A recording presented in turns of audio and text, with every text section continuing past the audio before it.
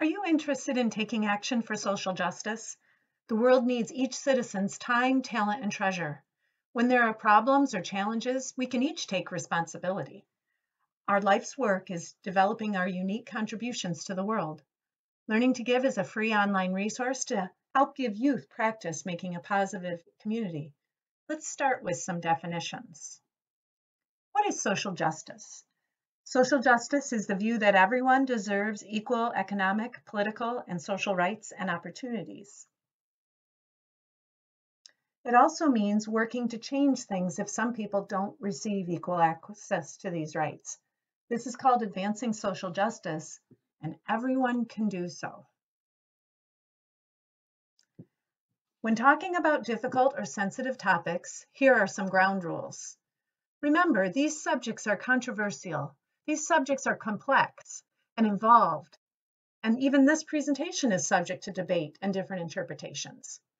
What is ultimately important is engaging in social justice dialogue within our spheres of influence in order to make the world a better place. Let's start with some categories of groups that uh, receive unjust treatment. First of all, there's gender. Advancing social justice related to gender means working for equal access to women or people who are gender fluid or transgender. Uh, social justice related to social sexual orientation seeks to reduce discrimination and the stigma of people based on who they are attracted to.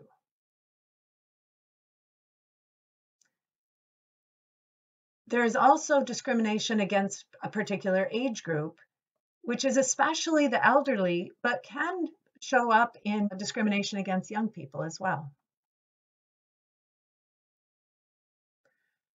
Race is the idea that the human species is divided into distinct groups on the basis of inherited physical and behavioral differences. Racism is a belief that differences are superior or inferior. Ethnicity is, is defined as a large group of people who have the same national, racial, or cultural origins, or the state of belonging to such a group. Um, ethnocentrism is when evaluates other cu cultures um, according to preconceptions and believing that um, one is superior over another. And xenophobia is a fear and hatred of strangers or foreigners, or of anything that is strange or foreign. Some religions, especially those that are minority religions, have been subject to mistreatment. Anti Semitism is a term that connotes a certain perception of Jews. Uh, it may be expressed as hatred toward Jews. Um, other religions have been discriminated in times of crisis. Our cultural identity is made up of our customs, beliefs, and different characteristics that we have just described. Another area where people have been discriminated against is their differently abledness. We may be differently abled in our physical characteristics, sight, um, language, hearing, um, mental capacity, and so on. Some of these are seen, seen as disabilities, and some of these are seen as superpowers. Social justice is an essential part of who we are as U.S. citizens.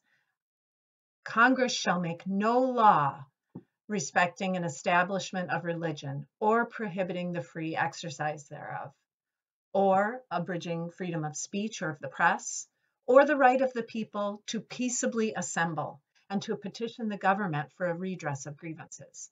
All persons born or naturalized in the United States and subject to the jurisdiction thereof are citizens of the United States and of the state wherein they reside. No state shall make or enforce any law which shall abridge the privileges or immunities of citizens of the United States. Nor shall any state deprive any person of life, liberty, or property without due process of law, nor deny to any person within its jurisdiction the equal protection of the law. This is in our law, and we must enforce it and adhere to it. We have to believe in one simple truth to engage in social justice work, and that is everyone deserves equal or equitable access to the rights we're given as American citizens, and it's our responsibility to speak up when we see injustice. First, before you speak up, ask yourself what's in your sphere of influence. It is in my control to change my knowledge, my words, and my actions. It is in my area of influence to model respect and share stories. It's not in my control to change other thoughts or behavior. And if that's my goal, I'll feel angry and bitter and helpless.